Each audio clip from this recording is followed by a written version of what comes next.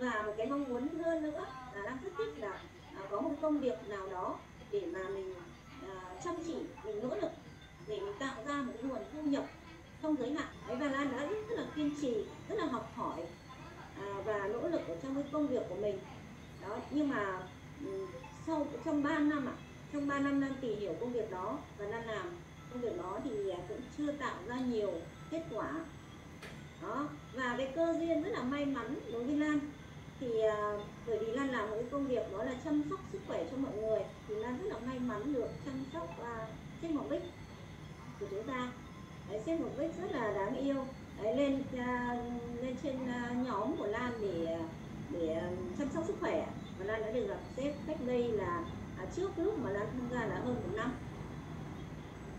À, và trong quá trình chăm sóc sếp như vậy ạ thì Lan cũng được biết rằng à, sếp đang kinh doanh một cái dòng sản phẩm thảo dược rất là tốt. Nhưng mà lúc đó thì Lan đang rất là say mê với công việc và rất có niềm tin với công việc đó. Bởi vì thực sự là cũng nhờ công việc đó mà Lan đã được cải thiện nhiều về sức khỏe. Đấy và mình cũng à, tìm thấy niềm vui ở trong công việc đó. Nhưng mà thật sự các cô bác anh chị ạ một cái công việc mà mình rất là đam mê đấy, rất là à, nỗ lực. Đấy nhưng mà trong vòng 3 năm mà mình không tạo được ra kết quả nhưng mà lúc đó thì Lan cũng chưa biết được đâu ạ. Đấy và cũng có đôi lần ừ, có những người đã tác động đến mình và cũng đã nói với với, với Lan rằng à, khi mà mình làm bất cứ một công việc gì đó mà đến tầm 6 tháng mà chúng ta không tạo ra hiệu suất thì đó là chúng ta đã lựa chọn sai về công việc.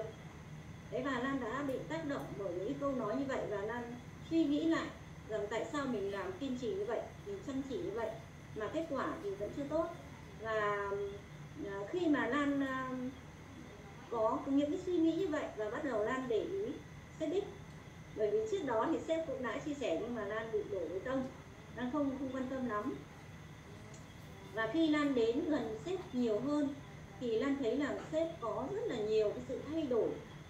Đó à, mỗi một ngày à, ở văn phòng của sếp ấy, thì lượng hàng hàng đến hàng đi liên tục như vậy và đội ngũ nhân viên của sếp cũng thay đổi rất là nhiều. Đấy, cho nên là ta Lan cảm thấy rằng đây là một cái cơ hội là có thể là mình nắm bắt được. Và khi Lan tìm hiểu như vậy ạ Lan được uh, sếp hợp đích cho Lan vào Zoom. Đấy, sau hơn một năm thì Lan mới đón nhận đấy ạ.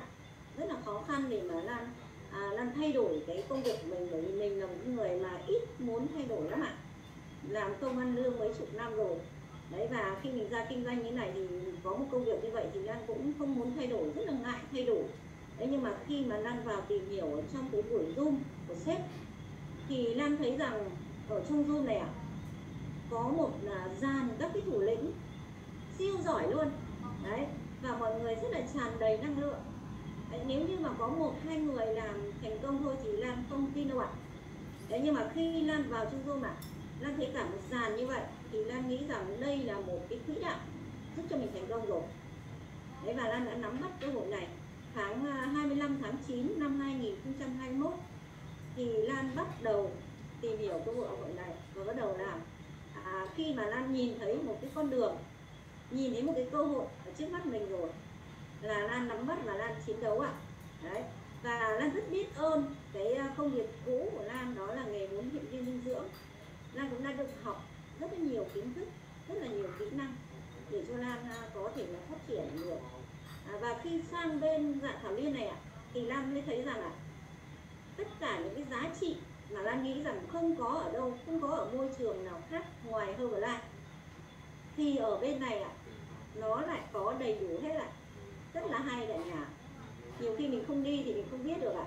À, tất cả những cái giá trị mà Lan Hằng mơ ước đó là tự do về thời gian đó là công bằng đấy, đó là giúp người lúc đời đó là có một dòng thu nhập đồng thì ở bên dạng thảo liên này đều có. Duy nhất chỉ có một điều khác đó là về sản phẩm của các anh chị ạ? Cái sản phẩm của Lan ấy, thì à, Lan kinh doanh trước kia ấy, là một cái dòng sản phẩm chăm sóc sức khỏe ăn ở bên trong ạ. Rất là tốt luôn ạ. Nhưng mà nó đắt lắm ạ. Nó đắt và nó đối tượng sử dụng thì nó không rộng. Bởi vì là Ừ, khi người ta bị béo hoặc khi người ta ốm đau thì người ta mới dùng đến. Thế còn khi người ta đỡ rồi thì người ta lại người ta lại ờ, quay trở về với thói quen ăn uống cũ cho nên là rất là khó để mà mà mà thành công được trong cái công việc đó. Thế thì khi Lan tìm hiểu sang bên dạ thảo liên này Lan thấy dạ thảo liên là một cái sản phẩm chăm sóc sức khỏe bằng thảo dược. Đấy, vô cùng là tuyệt vời ạ. Đấy, Lan cũng đã được sử dụng rồi sử dụng trước đấy rồi nhưng mà không bao giờ để ý đến à, cứ nghĩ rằng một cái ờ, một cái lọ sản phẩm nó bé tí tí như thế này thì chắc chắn là đây ạ một cái lọ lọ sản phẩm nó bé như này thì ờ, làm bà làm bao giờ mới giàu được ạ nên không tin rằng cái lọ sản phẩm này cái cái hộp sản phẩm này nó có thể giúp mình thành công được. Đấy, chính vì cái cái tư tưởng đó nên là đang không không nắm bắt cơ hội đâu ạ. Đấy nhưng mà khi mình sang đây rồi mình thấy là ồ một cái sản phẩm quá là tuyệt vời luôn ạ đấy nó giúp cho rất là nhiều người thay đổi về sức khỏe. Đấy và nó lại à, à, đa công dụng. Tất cả mọi cái sản phẩm thì nó đều phát huy được cái tác dụng của nó. Khi mà ai đã được dùng cái sản phẩm này thì đều khen ngợi cả. Và nó hay ở cái chỗ là từ em bé sơ sinh đến người già đều sử dụng được. Đấy, khi mà mình kinh doanh ấy thì mình phải quan tâm cái gì ạ? Mình quan tâm nhất là một cái dòng sản phẩm tốt để cho mình không bị à, Ờ, mất uy tín là thứ nhất. Thứ hai là cái đối tượng sử dụng. Và cái thứ ba là giá cả. Thì ở trong này cái sản phẩm này có đáp ứng đầy đủ rồi. Thế mình kinh doanh thì đã gọi là kinh doanh thì phải tiêu thụ được hàng hóa đi thì mình mới có doanh số để mình có tiền được. Mà mình lại đi lựa chọn một cái sản phẩm nó quá là đắt nó quá là ít người sử dụng thì mình kinh doanh thì không thành công được. Đó. À, chính vì như vậy thì đang thấy rằng à, khi mà mình lựa chọn đúng rồi ạ mình lựa chọn đúng một cái sản phẩm như vậy rồi thì mình à, có thể mình phát huy được à, tất cả những cái gì đó mà mình mong muốn. Thì à, à, sau 8 tháng Lan à, hoạt động và à, cũng ở bên này Lan cũng à, thường xuyên là học hỏi các anh chị uh, đi trước các bạn uh, có những cái kinh nghiệm đi trước thì Lan đã được cả hệ thống hỗ trợ. À, rất là may bởi vì là Lan là một cái người mà cũng rất là nhút nhát và chưa bao giờ kinh doanh các anh chị ạ. Mấy chục năm làm công ăn lương thì không biết kinh doanh đâu. À, bảo Lan là đi ờ, mang hàng đi bán thì chắc chắn là Lan cũng rất là ngại. Đấy nhưng mà khi mà mình tìm hiểu rằng mình thấy rằng một cái công việc này mình có thể giúp đỡ người khác thông qua cái việc mình chia sẻ về giá trị sản phẩm. Mình chia sẻ về giá trị cơ hội kinh doanh với mọi người. Thì Lan làm được. Đó. Thì Lan làm được cho nên là Lan thấy rằng rất là phù hợp với mình luôn ạ. à không biết ở trong này có các nhiều các cô anh chị chúng ta à, đã à, nghỉ à, hưu hoặc là các anh chị đang làm công việc này mà chúng ta cảm thấy rằng mới đầu chúng ta rất khó để mà bắt nhịp được với công việc.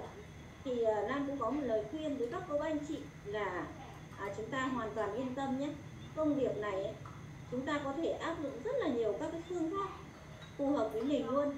Và trong này ấy thì sẽ có một cả một hệ thống hỗ trợ chúng ta đào tạo chúng ta rất là bài bản để chúng ta có thể là nắm bắt cái cơ hội này rất là phù hợp với từng người luôn. Thì đó là những cái mà đang nắm bắt được ở trong cái công việc uh, uh, thảo viên này.